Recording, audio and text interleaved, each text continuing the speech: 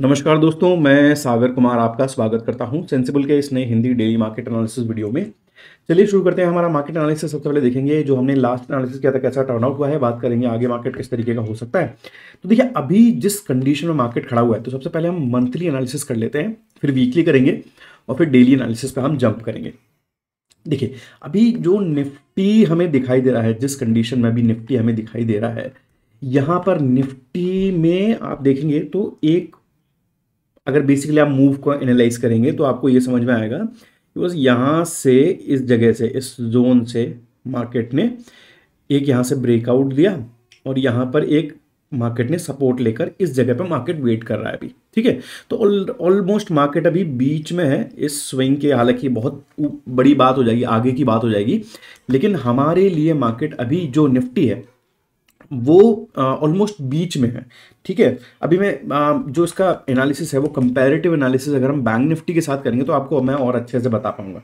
देखिए bank Nifty जिस condition में अभी खड़ा हुआ है ठीक है? बैंक निफ्टी जहाँ पर है अभी उससे ये समझ में आ रहा है कि बैंक निफ्टी काफ़ी कंफर्टेबल स्टेट में है ठीक है? मतलब इसको आप इस तरीके से भी देख सकते हैं कि यार यहाँ से निफ्टी ने अच्छा रन किया था, फिर एक रिट्रेसमेंट दिया है, ठीक है? बैंक निफ्टी ने उतना अच्छा यहाँ पर रन नहीं किया था। इस कैंडल के बाद एक अच्छा रन ऊपर साइड पर नहीं किया। लेकिन जो करंट कंडीशन हमें बता रही है, जो हमने ये जोन मार्क किया था पिछली बार भी मैंने आपको बताया था, कि ये एक, अब के, अब ये मार्केट में एक, दो, तीन, चार, पाँच छः सिक्स मंथ हो गए हैं। अगर आप इसके हट, इसे हटा देंगे तो यहाँ पर पाँच महीने हो गए हैं, ठीक है? ऑलमोस्ट आधा साल हो गया है। मार्केट इसी जो बैंक निफ्टी है, वो इसी जोन में ट्रेड कर रहा है, ठीक है? इसी जोन में, एक इस जोन में मार्केट ट्रेड कर रहा है।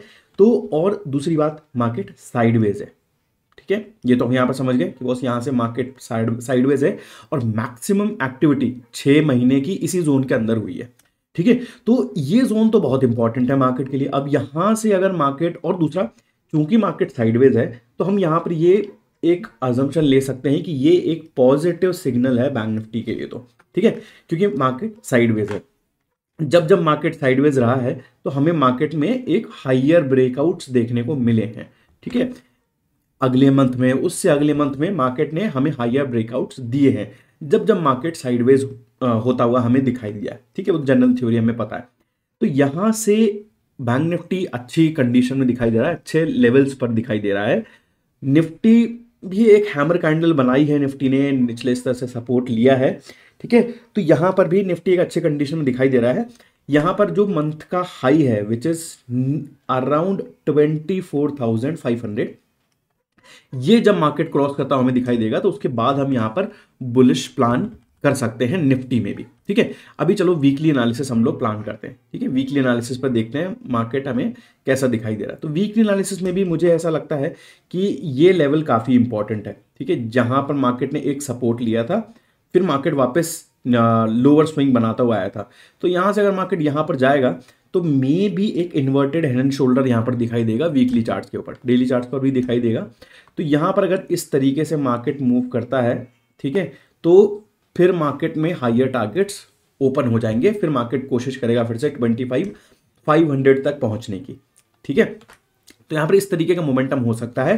तो पहले मुझे लगता है निफ्टी को ये हर्डल पार करना पड़ेगा twenty four thousand five hundred का जोन पार करना पड़ेगा, उसके बाद निफ्टी कंफर्टेबल स्टेज में पहुंचेगा। वहीं अगर हम बैंक निफ्टी देखेंगे तो बैंक निफ्टी अपने ब्रेकआउट के बहुत पास में है। बिकॉज़ अगर बैंक निफ्टी का मैं मार्क करूँ बैंक निफ्टी के लिए अगर मैं मार्क करूँ तो ये इंपॉर्टेंट लेवल है which is fifty two thousand five hundred ठीक है? Fifty two thousand five hundred के ऊपर मार्केट अगर ट्रेड करना शुरू कर जाता है तो बैंक निफ्टी कोशिश करेगा हाई के आसपास पहुँचने की। ठीक है? फिर बैंक निफ्टी ट्राई करेगा धीरे धीरे धीरे धीरे इस हाई के आसपास वीकली चार्ट के हाई को निकालने की बैंक निफ्टी पूरी पूरी कोशिश करेगा। ठीक है? और अब यहाँ पर बात कर लेते ये तो हमने पॉजिटिव एस्पेक्ट में बात कर ली कि बस यहाँ से अगर पॉजिटिव मार्केट को मूव करना होगा तो ये एक इंपॉर्टेंट लेवल है। निफ्टी में पॉजिटिव मूव करना होगा तो ट्वेंटी फोर फाइव हंड्रेड और बैंक निफ्टी को अगर पॉजिटिव मूव करना होगा तो फिफ्टी टू फाइव हंड्रेड या सिक्स हंड्रेड के ऊपर, ठीक है? अब यहाँ से अगर मार्केट को नेगेटिव मूव करना होगा तो मार्केट कैसे मूव करेगा? तो सिंपल सा है, हमारे लिए बहुत बड़ी इंडिकेशन हो जाएगी, अगर मार्केट ट्वेंटी फोर थाउज़ेंड के नीचे क्लोजिंग देना शुरू कर देगा। ठीक है? ट्वेंटी फोर थाउज़ेंड के नीचे फिर से अगर मूव करने लग जाता है तो फिर हम यहाँ बॉस ये अजम्पन डालेंगे कि ये एक नया लो बनाने के लिए मूव करेगा। हम इसके लिए फिर ट्रेड करेंगे। ठीक है? और अगर डेली चार्ट्स पर आप जाएँगे तो आपको और क्लियर इंडिकेशन यहाँ पर दिखाई देंगे कि बॉस अगर ये जोन ये जो ग्रीन कैंडल है, ठीक है अगर आप ट्वेंटी फोर थाउज़ेंड बहुत पास में हमें लग रहा है तो ट्वेंटी थ्री एट हंड्रेड ये जो स्विंग है, ये भी हमारे लिए काफ़ी इंपॉर्टेंट डिस्कशन दे देगा, हमारे लिए काफ़ी इंपॉर्टेंट डिसीज़न बना के दे देगा क्योंकि यहाँ से अगर मार्केट एक सपोर्ट लेने की कोशिश कर रहा है तो ये इस तरीके से ऊपर निकल जाएगा। और मैं बहुत खुश हूँ कि इसने एक सेलिंग प्रेशर यहाँ पर इस दिन दिखाई दिया। कारण उसका ये है कि यहाँ से जो बाइंग मोमेंटम आया है, मैं बहुत रेयरली कंफर्टेबल होता हूँ कि यार इस बाइंग मोमेंटम के बाद मार्केट में फिर से बाइंग करने के लिए।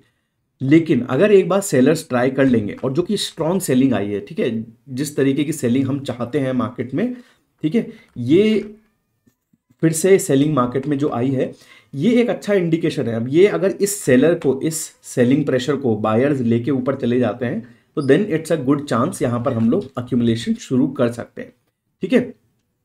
तो बेसिकली निफ्टी के लिए मुझे लगता है कि ये ट्वेंटी थ्री एट हंड्रेड के अगर नीचे चला जाएगा, जो कि ऑलमोस्ट आप कह सकते हैं कि बॉस एक ये सॉर्ट ऑफ़ एक ब्रेकआउट लेवल है जहाँ से इसने सपोर्ट भी लिया है, ठीक है? तो ये ट्वेंटी थ्री एट हंड्रेड के नीचे अगर मूव करेगा तो ये नेगेटिव जोन में चला जाएगा, ठीक है?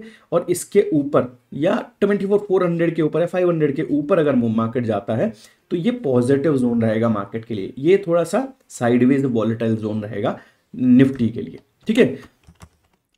बैंक निफ्टी में सिंपल सा, बॉस डेली चार्ट पर चलेंगे हम लोग।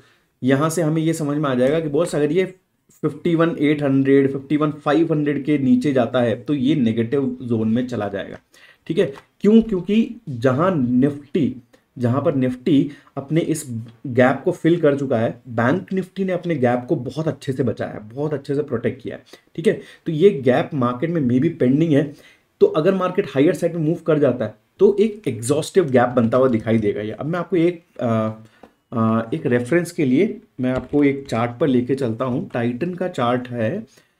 टाइटन में ना बहुत समय पहले एक ऐसा पैटर्न सा बना था। मुझे वो मिलेगा, नहीं मिलेगा, वो एक सवाल हो जाएगा। देखिए ये, बहुत टाइम पहले बना था ये। ये देखिए, ठीक है? ये ऐसे ही आपको दिखाई दे रहा है कि मार्केट में स्ट्रॉन्ग यहाँ पर बाइंग आई, ठीक है? स्ट्रॉन्ग बाइंग आई, उसके बाद गैप अप ओपन हुआ। कुछ दिन ट्रेड किया इसने फिर ब्रेकआउट देके हायर साइड पर ये मूव कर गया। ठीक है? और बैंक निफ्टी अगर आप देखेंगे निफ्टी को अगर हम आ, अभी रखते हैं साइड में तो बैंक निफ्टी अगर आप देखेंगे तो बैंक निफ्टी ऑलमोस्ट ऑलमोस्ट वैसे ही दिखाई दे रहा है कि एक बुलिश मूव मूव यहाँ पर आया और उसके बाद मार्केट साइडवेज चला गया। ठीक है? चार पाँच दिन साइडवेज गया और यहाँ से फिर अगर ब्रेकआउट देता है तो ये फ्रेश मूव करने ऊपर जाएगा। और जब अब ये इसने गैप भी फिल किया है तो काफ़ी टाइम बाद फिल किया है इसने, अगर आप गैप देखेंगे, अब पता है फिल भी किया है, इसने नहीं किया है। अभी तक ये देखिए फिल नहीं किया है, इसने गैप फिल अभी नहीं करा है। ठीक है तो फिर ये जो गैप है आई डोंट नो इसको एग्जॉस्ट एग्जॉस्टिव गैप ऐसे कुछ इनको बोलते हैं इनके टर्म्स होती हैं मुझे नहीं पता इतना तो ठीक है? और uh, तो ये जो गैप है uh, कुछ गैप्स होते हैं जो मार्केट फिल कर देता है और कुछ गैप्स होते हैं जो मार्केट uh, निकल जाता है उन गैप्स के ऊपर निकल जाता है उसको फिल नहीं करता है। तो वैसा कुछ कुछ गैप बैंक निफ्टी में मुझे लगता है बनता हुआ दिखाई दे सकता है। मे भी बहुत लेटर फ्यूचर में ये फिल करे वो गैप लेकिन अभी कुछ ऐसा ही पैटर्न आपको बैंक निफ्टी में भी दिखाई देगा। ठीक है? बैंक निफ्टी में भी आपको दिखाई दे रहा है। ऑलमोस्ट यहाँ से मार्केट ऊपर जाने की कोशिश करा, यहाँ पर गैप बनाया और ऊपर मूव करा। ठीक है? वैसे ही आपको यहाँ पर दिखाई दे रहा है कि बस यहाँ से ऊपर मूव किया, यहाँ पर गैप बनाया और हाइयर साइड पर मूव कर जाए। ठीक है? तो अगर मार्केट एक स्ट्रॉन्ग ग्रीन कैंडल यहाँ पर बना देता है, ठीक है? मे बी कल एक फिर से एक साइडवेज चला जाए या तो या फिर मार्केट कल ही के दिन आपको स्ट्रॉन्ग ग्रीन कैंडल इस तरीके की बना के दे दे तो ये फिर ऑलमोस्ट मुझे लगता है मार्केट ये गैप छोड़ के ऊपर भाग जाएगा। ठीक है? ऐसा ही आपको फिर से होता हुआ दिखाई देगा। तो अगर ओपन इंटरेस्ट की बात करें यहाँ पर निफ्टी के लिए तो निफ्टी के ओपन इंटरेस्ट में आपको सपोर्ट्स और रेजिस्टेंस दोनों दिखाई दे रहे हैं। ट्वेंटी फोर थाउज़ेंड है फिर twenty twenty three eight hundred है जो कि वो गैप गैप वाला लेवल है जो मार्केट ने फिल किया था। और twenty four thousand obvious level है। बैंक निफ्टी में तो उतना कोई uh, अभी डेवलप नहीं हुआ है। डे की स्टार्टिंग ये मंथ की स्टार्टिंग ये है। uh, अगर एफ़ की बात करी जाए और प्रो की बात करी जाए तो एफ़ अभी तो मुझे लगता है पोजीशंस ये बिल्ड करना शुरू करेंगे, क्योंकि डे मंथ का पहला ही टाइम है। तो उन्होंने पोजीशंस तो अपनी तो बुक कर ली है मुझे ऐसा लग रहा है। जो बुलिश पोजीशन थी इनकी, ये इन्होंने बुक कर ली है। और नेगेटिव पोजीशन अभी भी मतलब पुट्स जो है इनके अभी खड़े हुए हैं विच इज़ ठीक है। अभी तो डिस्कशन इतना कोई करने का ये मतलब भी नहीं है। आगे आने वाले आपको टाइम बताएँगे ये कैसा है। अगर प्रो की देखा जाए पोजीशन तो ऑप्शन पोजीशन बुलिश है और ये नेगेटिव है। तो थोड़ा बहुत प्रोज आई डोंट नो थोड़ा न्यूट्रल काइंड ऑफ़ क्योंकि फ्यूचर्स में ये नेगेटिव सोच रहे हैं ऑप्शंस में बुलिश सोच रहे हैं। क्लाइंट जो है फ्यूचर्स में क्लाइंट भी ऑलमोस्ट फ्यू क्लाइंट भी इसी तरह है कि फ्यूचर्स में बुलिश है ऑप्शंस में नेगेटिव है। तो अभी तो मेरे हिसाब से थोड़ा सा हमें रुकना चाहिए। मंडे ट्यूसडे में ये पोजीशन और अच्छे से क्लियर होती हुई हमें दिखाई देंगी। तो अभी जो स्ट्रक्चर मुझे दिखाई दे रहा है, उसके हिसाब से तो हमारे पास मार्केट ने स्विंग्स दे दी है हमें। ये बॉस स्विंग दे दिया है, एक ये स्विंग दे दिया है। ये बॉस इसके ऊपर मैं बुलिश हूँ, इसके नीचे मैं नेगेटिव आप मान सकते हो। सिमिलरली अगर निफ्टी की बात करूँ यहाँ पर तो निफ्टी में भी ये स्विंग एक इंपॉर्टेंट स्विंग दिखाई दे रहा है। सिमिलरली ये स्विंग एक इंपॉर्टेंट स्विंग दिखाई दे रहा है। तो इसके ऊपर मैं पॉजिटिव मान सकता हूँ, इसके नीचे मैं नेगेटिव मान सकता हूँ मार्केट मार्केट को।